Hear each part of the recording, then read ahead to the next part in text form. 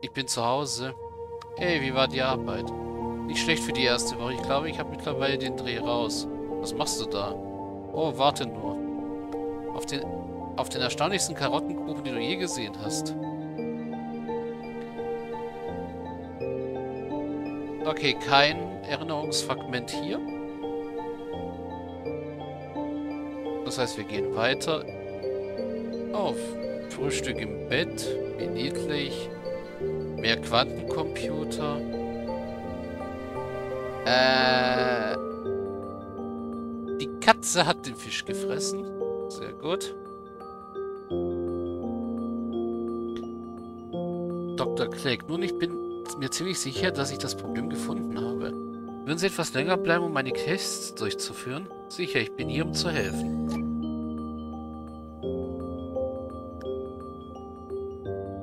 Gut, jetzt kommt sie wahrscheinlich spät abends erst. Hey, sorry, ich bin schon wieder spät dran. Alles okay? Ja, aber es gibt immer wieder Probleme zu lösen, aber wer werden sie lösen? Natürlich, die haben ja auch dich. Ich gehe das Abendessen aufwärmen. Warum packt man das Abendessen schon auf die Teller? Ja, ich bin da ein bisschen altmodisch wahrscheinlich. Ja, mehr Quantencomputer. Mehr Probleme zum Lösen. Das Schnittstellenmodul ist immer noch hinter dem Zeitplan, obwohl wir Fortschritte machen. Aber die Investoren erwarten eine Demonstration. Sind Sie sicher, dass es beim nächsten Besuch fertig sein wird? Ja, wir schaffen das. Übrigens hast du dir mehr Gedanken über das Wohnangebot gemacht, Linry. Wir haben sogar ein freies Zimmer für dich bereit. Alles wäre so bestimmt einfacher. Ja, sind wir hier jetzt an dem Punkt, wo die Arbeit wichtiger ist als äh, Quincy? Tut mir leid, dass ich spät bin. Ich musste Ja, ich glaube, das ist jetzt, wo sie sich langsam fragt, ob, ob sie doch gut genug für den armen Quincy ist. Oh, der Kern spinnt. Aber das ist ein anderer Kernspind als der in der Uni, garantiert. Ja, beim Essen. Nur und die Vorschriften sind vermaledeit, aber Fortschritt ist Fortschritt. Trotzdem. Sind Sie sicher, dass die Sie dies nächste Woche so vorführen wollen? Ja, es ist eine Ehre, wirklich. Es hat eine Weile gedauert, aber ich bin froh, dass ich ein Teil davon sein konnte.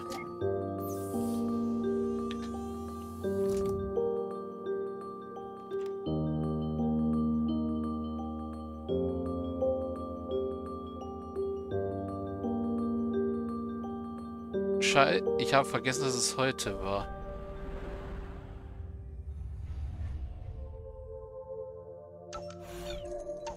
Ja.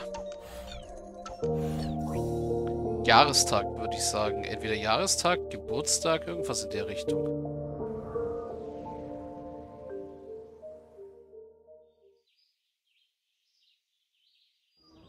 Ist echt die Frage, wer wen verlässt.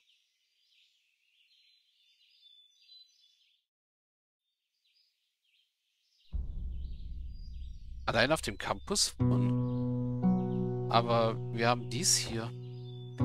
Ich habe dem noch nicht zugestimmt. Aber du denkst ernsthaft darüber nach. Ich meine, es wäre nur für eine Weile.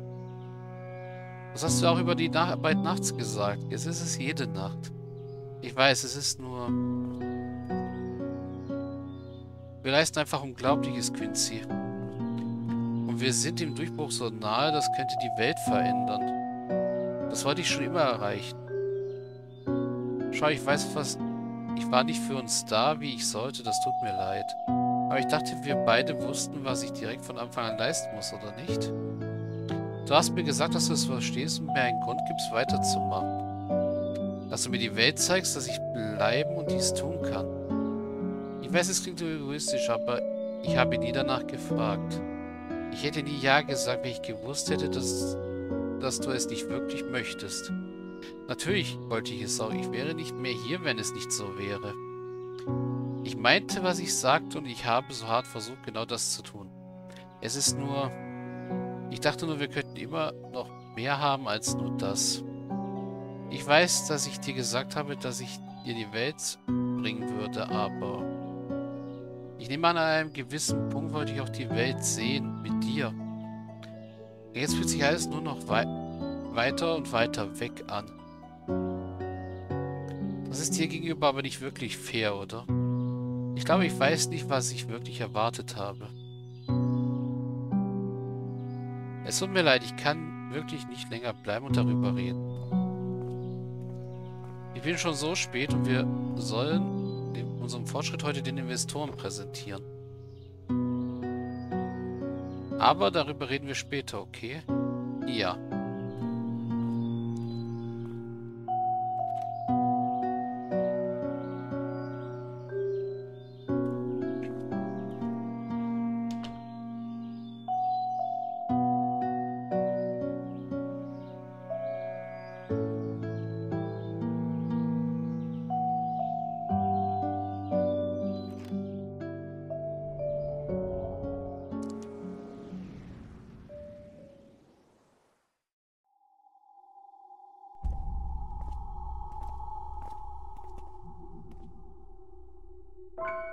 Polizei? Oh, warum ist der tot? Hey. Was ist hier geschehen? Das Gebäude ist geschlossen. Was möchten Sie hier? Ich arbeite hier. Linri. Dr. Kim, was geschieht hier? War das Louis? Es hat nicht funktioniert. Die Investoren waren schon da und wir warteten und... Also Luia leitete die Demo in deinem Namen, aber sie wollten einen Live-Test. Er hat die Demo in meinem Namen durchgeführt. Dr. Haynes und Dr. Yu sind immer noch drin und drehen mit den anderen. Sie sagten... Linri, warte.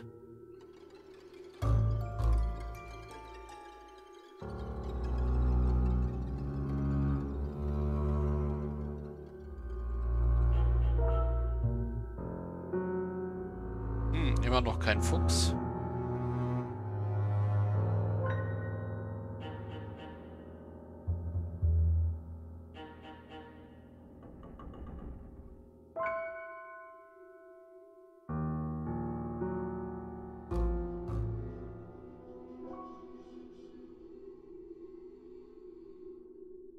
Aber was nützt eine Speicherschnittstellenmaschine, wenn sie den Benutzer tötet? Wir wissen dies ja nicht genau. Es ist nur ein gescheiterter Versuch. Und viel mit den weiteren Versuchen unter all den Vorschriften, die dies auslösen wird. Wir laufen unter dem Radar, die können wir umgehen. Nein, nur du warst unter dem Radar. Ja, und jetzt bist du völlig darüber hinausgeschossen. So oder so, wenn es ein, eine grundlegende Unvereinbarkeit mit dem Schreiben der Erinnerung gibt. Das verheißt sicher nichts Gutes für den Kern des Projektes. Oh, ihr seid so ein pessimistischer Haufen. Hast du noch nie von einer substanziellen Änderung gehört? Lass uns nicht den Kopf aufgrund eines kleinen Rückschlags verlieren. Wie ist das ein kleiner Rückschlag? Ja, was ist überhaupt der Sinn einer Erinnerungsschnittstelle, wenn sie dabei sterben? Nun... Linri, Warte, Linri.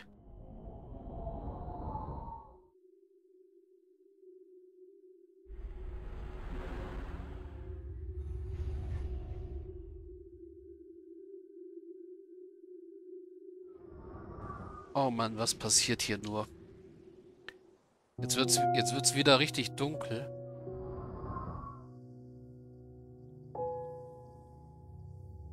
Da rennt sie weg.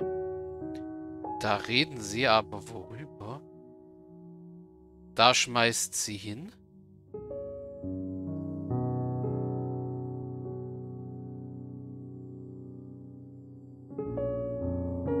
Und wenn sie zurückkommt nach Hause, sind wir gar nicht mehr da, oder?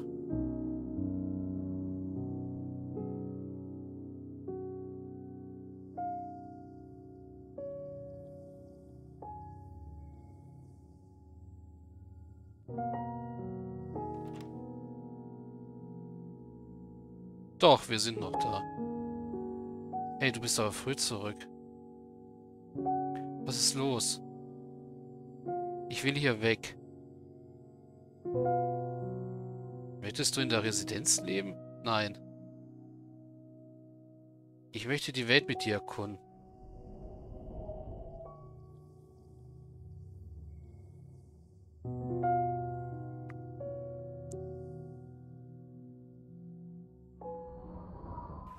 Okay. Harter Schlag.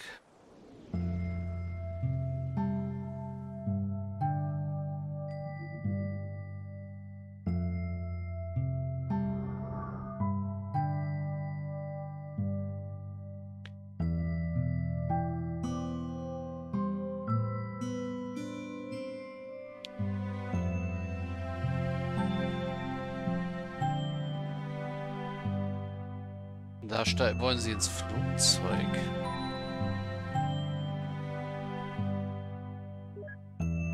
Hey, wir sind in Paris.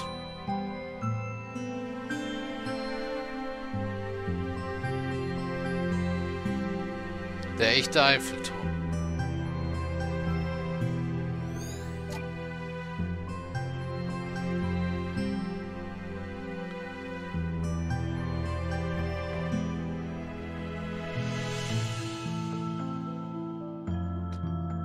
Sache ist auch die, wir wandern vorwärts in den Erinnerungen, nicht rückwärts, wie wir es bei To the Moon getan haben.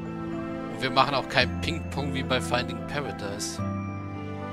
Hey, Stonehenge.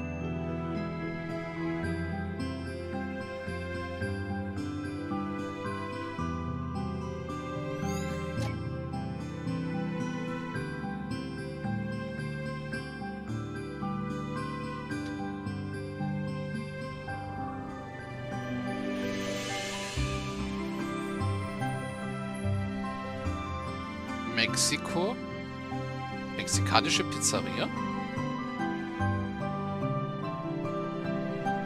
Nee, Pyramiden, also Ägypten.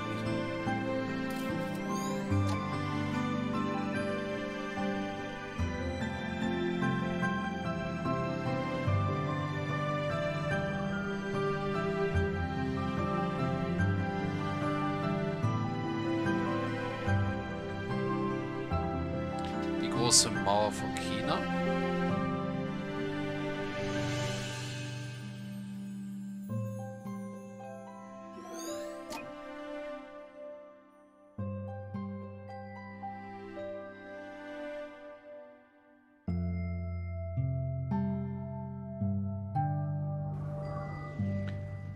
Was gibt's als letztes? Oh. Der... Der hier.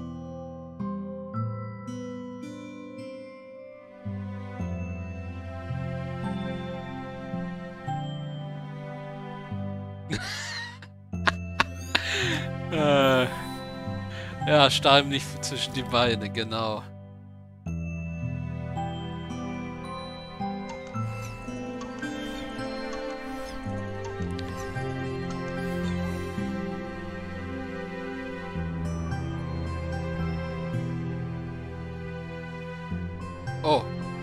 Flatsch. Oh, Venedig. Hey, Quincy. Ich bin froh, dass wir diese Reise gegangen sind. Wir kommen eines Tages zurück.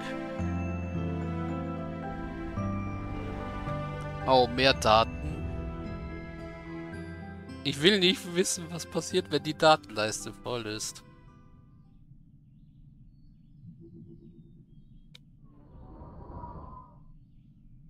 Oh oh. Linri?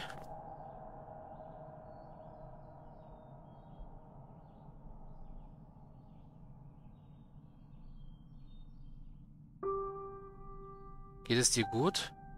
Ja, nur ein bisschen Luft gerade aufgrund des holprigen Fluges, denke ich.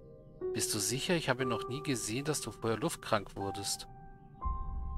Ich rufe deinen Arzt an. Lassen wir dich einfach mal untersuchen, um sicher zu gehen verschlimmert sich's jetzt doch nach all der Zeit.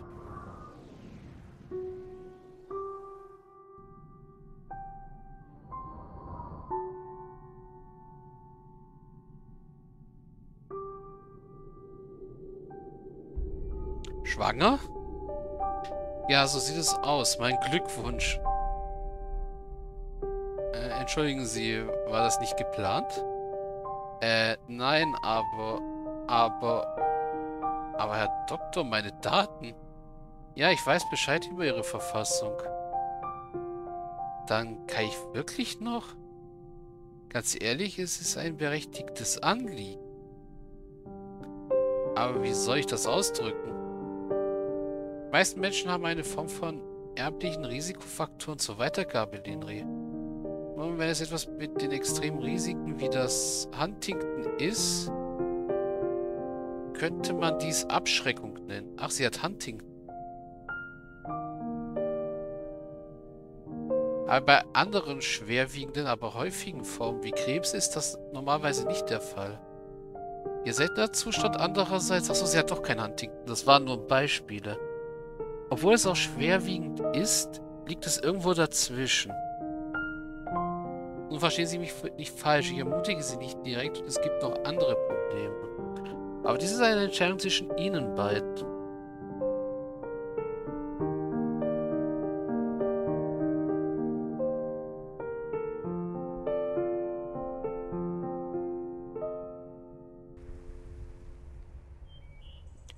Jetzt ist sie auch noch schwanger. Was denkst du gerade? Wer denken wir das gerade wirklich? Ich weiß nicht, aber wir müssen eine Entscheidung treffen. Du sagtest, du möchtest eine Familie, richtig? Ja, aber das ist bei weitem mehr, als ich wollte. Ich meine, vor nicht allzu langer Zeit war ich immer noch mit meinem eigenen Lebensunterhalt beschäftigt. Nehmen an, es ging mir in der letzten Zeit gut, aber trotzdem. Vielleicht können wir ein paar Tests buchen. Der medizinische Fortschritt hat einen langen Weg gemacht. Das würde uns nur die Chancen verraten. Es wäre, das, wäre so oder so ein Risiko. Und selbst von all dem beiseite überhaupt Eltern werden. Was ist mit dir, Quincy? Ich meine, wirst du überhaupt eine Familie gründen wollen? Ehrlich gesagt? Bevor meine Großmutter starb, war sie die einzige Familie, die ich bisher hatte. Ich kann mich kaum daran erinnern, mit meinen Eltern zusammen gewesen zu sein, aber an das Gefühl, unsere eigene Familie zu haben. Ehrlich gesagt, das klingt doch ganz nett. Aber wie du schon sagtest, es geht um mehr als nur das. Ich habe Angst, Quincy. Ich auch, aber es ist unsere Entscheidung. Was auch immer es wert ist, seid ihr nur bewusst, dass egal wie wir uns entscheiden, ich werde es mit dir bis zum Ende durchziehen.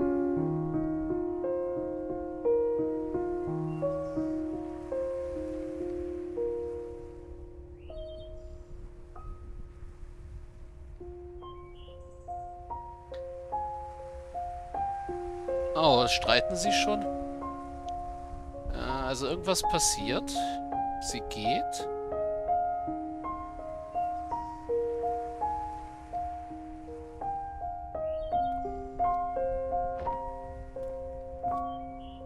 Laborkittel.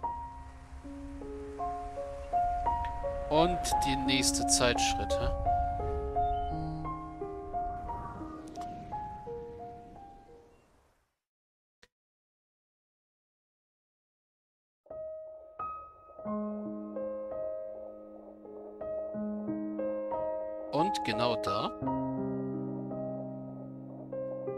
Ist der Herzschlag. Haben Sie Herzschlag gesagt?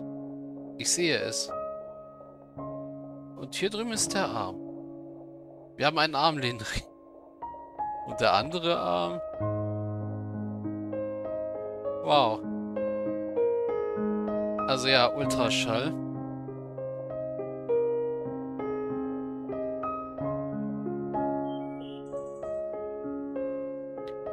Bequeme Schuhe auf jeden Fall. Vergiss dein pränatales Vitamin nicht.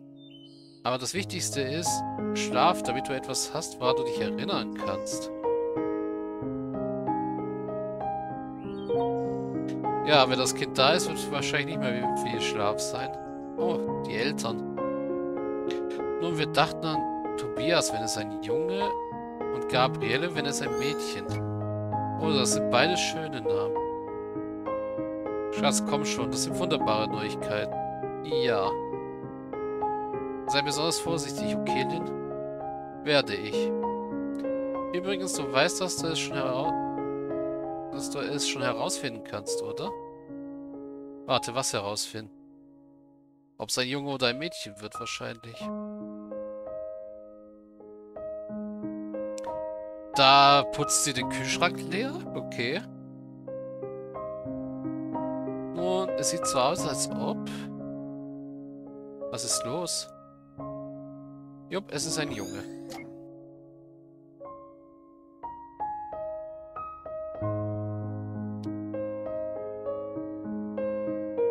Da geht Quincy einkaufen. Oh, der Babyladen. Oh, und das hier. Das wird dem kleinen Tobi so gut stehen. Das sieht ein bisschen groß aus für ein neugeborenes Mom.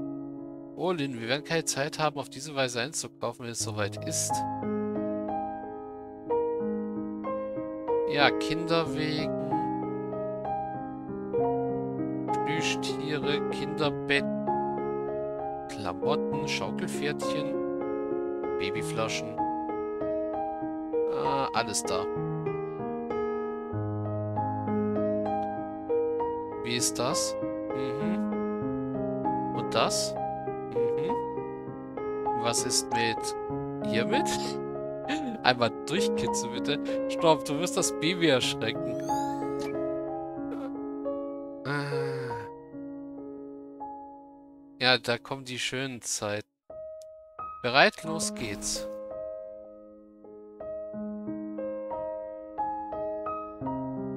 Es ist ein wenig antiklimatisch, wenn wir alle schon jetzt verwöhnt werden. Psst, ich lasse es mir doch nicht die Chance auf eine Enthüllungsparty entgehen. Ach so, ein Zeug machen die hier. Nun, zumindest benutzt du keine Nebelmaschine. Ach so, das war so ein, ähm... Nicht Böller... Das haben die Amerikaner, diese kleinen Tütchen, wo sie am Ende ziehen und dann spritzt Konfetti raus. Konfettitüten. Ich sie jetzt einfach mal. Ich habe einen Tritt gespürt. Da hat nur mein Magen geknurrt. Oh ja, vielleicht erstmal Abendessen. Warte, war das auch dein Magen? Nein. Das war nicht? Nein. Das war nicht dein Magen? ah.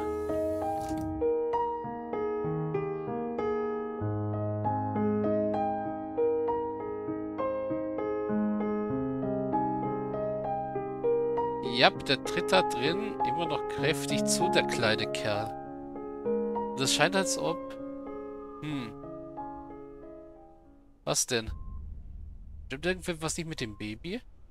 Nein, dem Baby scheint es gut zu gehen. Es ist nur... Nur zur Vorsicht. Lassen Sie mich den nächsten Wochen ein paar zusätzliche Tests für Sie buchen. Mhm.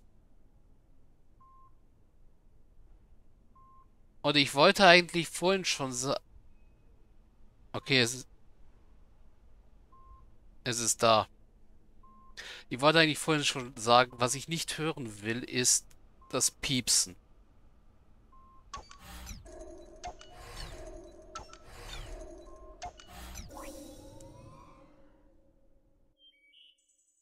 Das Piepsen ist nie was Gutes. Dein Elternhaus, was? Ja, ich wollte dich schon lange mal hierher mitnehmen. Wenn wir nur näher dran wohnen würden. Lieber später als nie.